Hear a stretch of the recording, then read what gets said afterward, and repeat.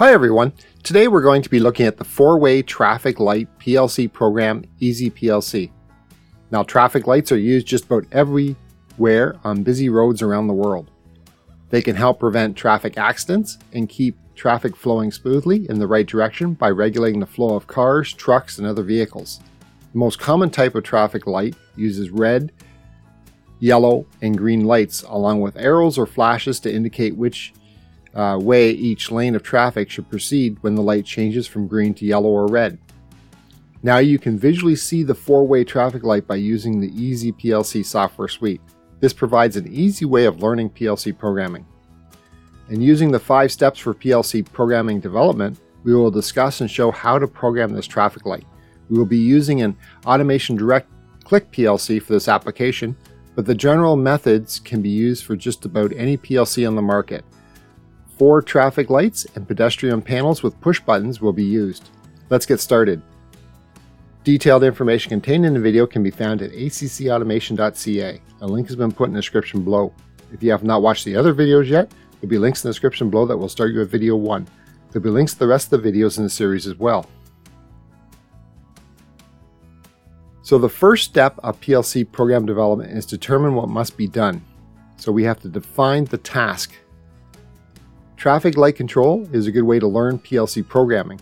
The common four-way traffic light intersection is generally well understood as to what must happen. Each direction will have a red, green, and yellow light. Timers and outputs in the PLC operate in a sequence to control the operation of each light in all directions. The Easy PLC software suite contains this traffic light example in the machine simulator. So if we go into the machine simulator that we have here on the screen, we can either hit the start or we can go to the machines here and we will scroll down to the traffic light. If we just click on it, you will notice that we have on the left hand corner exactly what must be done. But we also have a demo mode and in the demo mode, it will actually show us what actually is happening. So here's my demo mode right here. And you can see here that we have our green light, it will go to yellow, then red, and then the other way will then go to green, yellow, and red. And we have our pedestrian here that we can hit and have them cross. So this is how the logic actually works. Now the second step is to define the inputs and outputs of our Easy PLC traffic light. Now, the inputs and outputs define how information is transmitted between a programmable logic controller or PLC with other devices. One input can be used to send status information from one device, such as a sensor, into the PLC. Now, the View I/O at the bottom here of the machine simulator window will display the inputs and outputs required um, for this traffic light uh, application. So we can see how the inputs here are actually running. So, and what I like to do is we will actually take a look at um, the actual I.O. And when we look on the screen here, you can see that this is my uh, number one here, uh, light number one, my red, yellow, and green. Number two is on this side, and we have three and four. Then the same thing applies with our crossing. Here's our number one. And then this is number four crossing, number two crossing, and then number three crossing. So getting the inputs and outputs correct is a good is a second step of our of our program development. Now the third step is developing a logical sequence of operation. Now a PLC programmer must know everything about the sequence and operation of the machine before programming. And that's what makes traffic lights an excellent way to learn programmable controlling or programmable controllers because most people know exactly how they work. However, a flowchart or sequence table is used to fully understand the process that needs to be controlled. And they usually answer questions like what happens when electrical power and or pneumatic air is lost, what happens when input and output devices fail, do we need redundancy? There's a number of different things this answers for us. This step is where you're going to spend most of your time understanding everything about the operation. It will save you time. It will help prevent these from prevent you from continuously rewriting your PLC program logic. Knowing all the answers of how the system is to react is vital in the development of the PLC program. So here is the sequence table for our traffic light. And what I've done is wrote everything I possibly know on there along with some notes, and then we just sort of condensed it all down. And we really understood that what we have is a one second, or during the first second of operation, we have all of the red lights on. Then for the next five seconds, we will have traffic lights one and, and two on.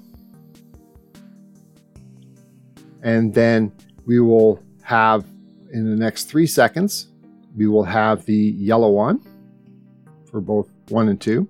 And all the while, three and four would be red. Then we have this extra one second here overlap where they're all red again. This prevents any accidents from happening. Then we have five second green for our three and four. And again, the red is on one and two. And then we have three seconds for the yellow.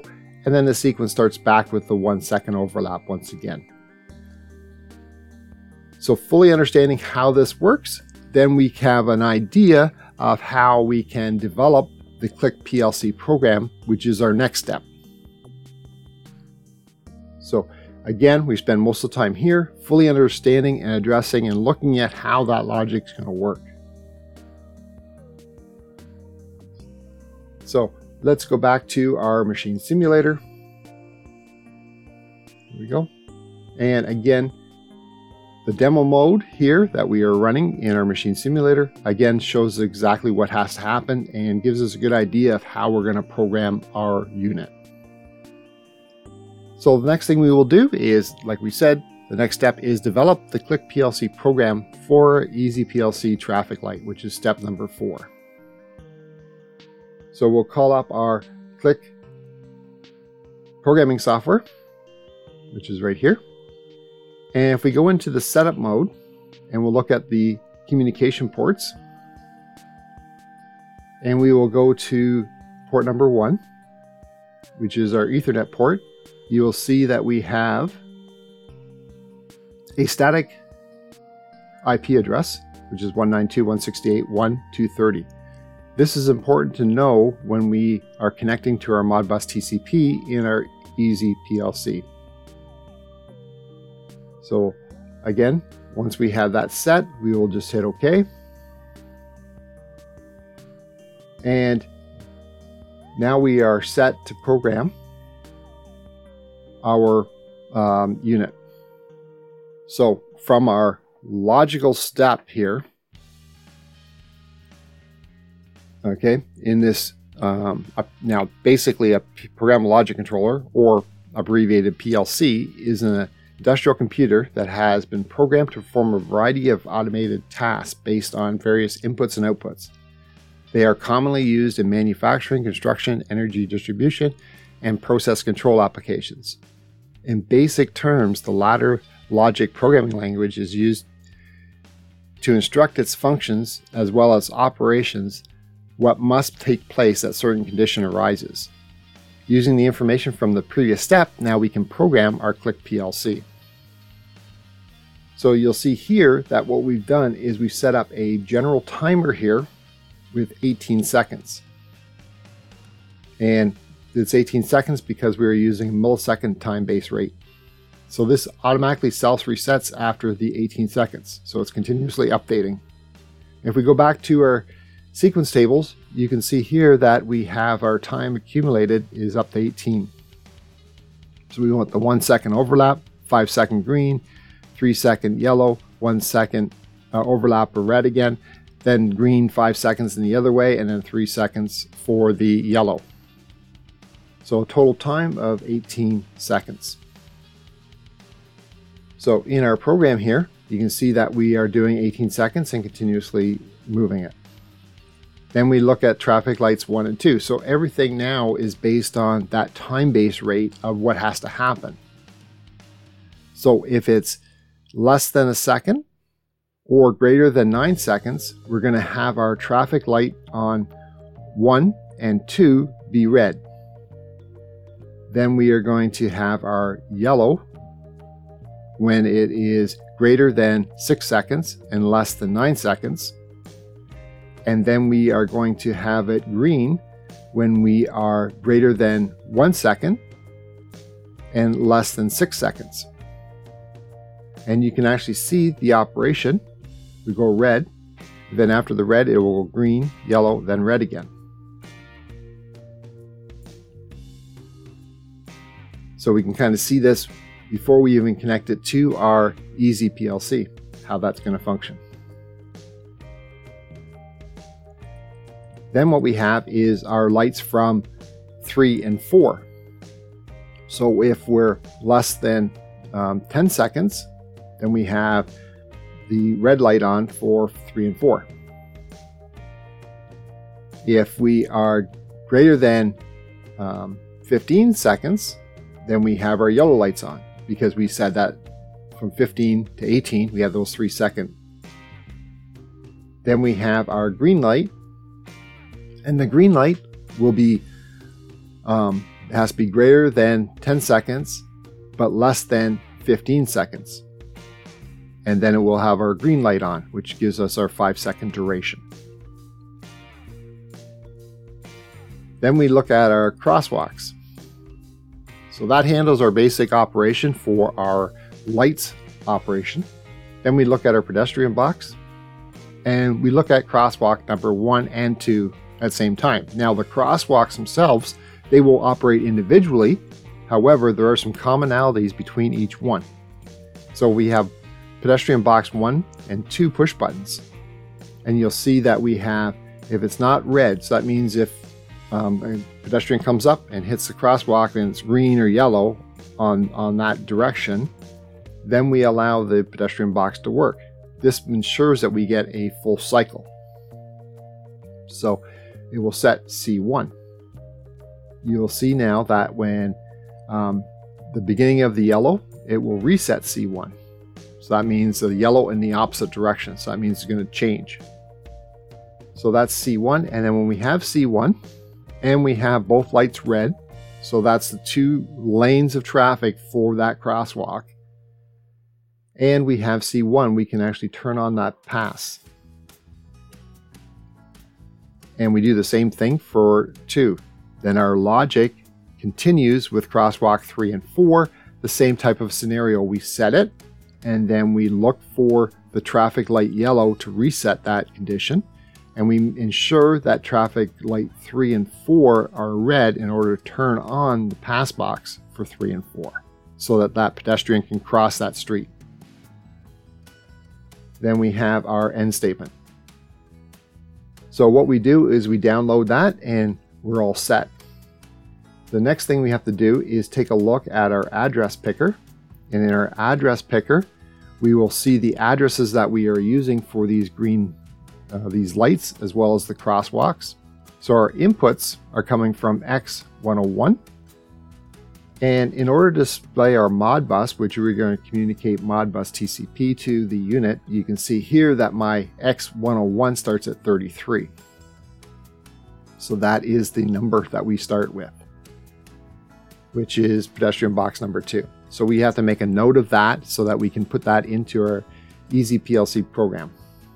And if we look at our outputs, our outputs here, traffic light red starts at address 8225, and then we have our pedestrian box 1 all the way down to pedestrian box 1. So we have 16 uh, actual outputs that we're setting. So currently right now you can see that we're in a run mode and we're all set to go. So let's take a look at our, going back to our uh, Easy PLC. Right now we're still in our demo mode. We'll just exit to our main. And when we do, what we will do is we will hit the start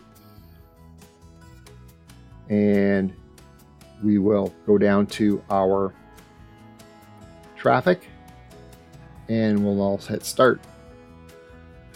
So now we're going to connect our Easy PLC up to our controller. But you'll notice the traffic's running.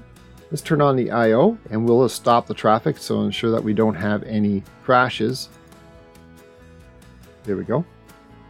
So now all the traffic is stopped and we can simulate the inputs and outputs from here as well as any box inputs. Um, we can turn on the uh, passing if we want. You see that light up. So this is all without the PLC connected. But we want to connect our PLC to test our program. So let's go into the I.O. drivers and we will select the Modbus driver. We will hit configure. And on the configure, what you will see is we have our IP address that we had previously looked at on our Click PLC with the commonality port of 502, which is common for a Modbus. We have our starting address here, which will be 8223, and we have 17 inputs. Now I know we said there's 16, but you'll notice that the first input is actually not used at all. Same with outputs. We have five of them. Our starting address is 31. We're not using any analog in or analog out in this particular unit, and there's no scaling. So that is our Modbus setting. We'll just hit OK. That will bring back our inputs, our driver outputs, and our driver inputs. And then what we can do is actually marry this up to our PLC inputs and PLC outputs this way.